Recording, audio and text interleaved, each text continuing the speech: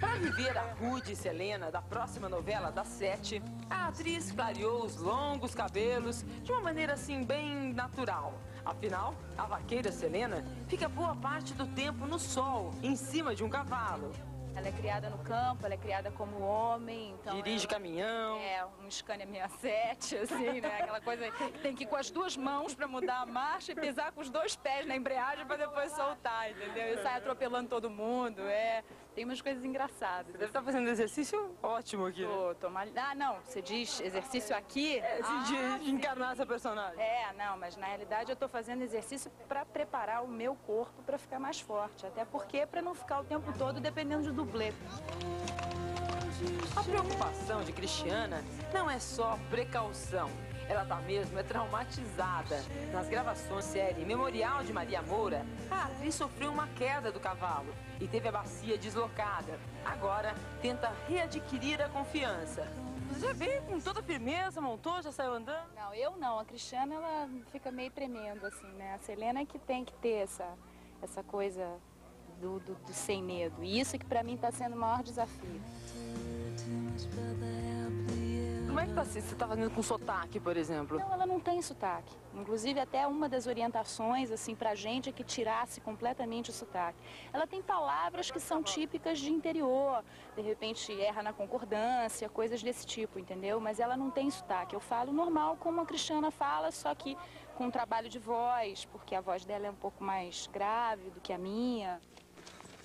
Se quiser matar esse cavalo, vai ter que me matar primeiro. Como tirar o lado sensual e ficar mais bruta, assim? Eu fico observando muitos homens, mas eu fico tirando a Selena uh, do que foi como ela, ela foi criada. Quer dizer, ela não tem a mesma força que o homem, né?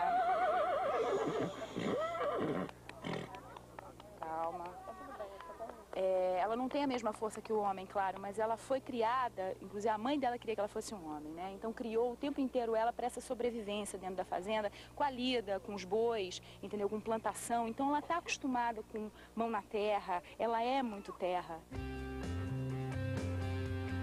O Marcos é o peão, o qual a Cristiana se inspirou para fazer a Selena, né? Não, não, não, não foi para fazer a Selena, são algumas coisas, porque como eu cheguei aqui ontem, ele estava assistindo uma cena, eu comecei a perceber o jeito dele se portar. São, é. é um material que eu vou colhendo de repente, assim, eu percebo. E ontem eu fixei nele, eu fiquei pegando o jeito. jeito de parar? Porque é simples, ó.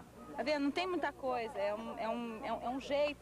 Aí ele ontem tava parado assim, pegou aqui o braço assim, ele ficava mexendo o nariz, assim. Mostra outro jeito de peão que sempre faz pra ela. Esse é o jeito simples é O jeitão dele. nosso é esse mesmo. O jeitão nosso é esse mesmo. tá vendo? Eu vou pegando assim, vou observando e vou pegando. Aí ele peão fica com nunca... esse sorriso assim, ó. É, peão sempre feliz, nunca para assim numa postura retinha, sempre meio do lado, né, meio, né? Sempre meio incomodado. Ah, é? Meio incomodado? É. Como incomodado? Ah, eu sei lá, é o ritmo de vida, né? Então você tá sempre, nunca fica paradinho num lugar, né? Tá sempre se mexendo, mexe chapéu, nada nunca tá bom. Tá sempre se arrumando. É, tá vendo? Esses detalhes é que a gente tem que pegar para enriquecer o personagem. O que você acha disso, de repente, ela se inspirar nos seus movimentos para montar a personagem dela?